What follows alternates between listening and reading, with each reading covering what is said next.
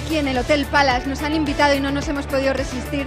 Qué mal, ¿no? Qué mal plan venir aquí a este Qué hotel. mal plan estar aquí con GQ. Bueno, Cuando de repente me llamaron y me dijeron, bueno, que te han elegido hombre GQ del año, ¿no? Eso siempre suena a palabras mayores y bueno, que sea en España para mí es todo un honor. Sobre todo que me dé el premio Rafael. Es nieto de la persona que me abrió las puertas al mundo este de, de la música. Su abuelo era dueño de Discos Hispavox.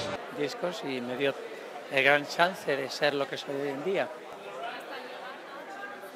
Pero además son- son unas colaboraciones muy buenas porque se han quedado algunos fuera, sí.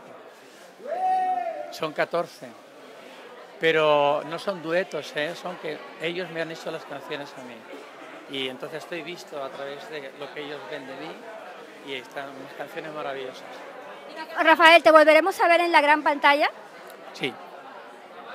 Y no muy lejano.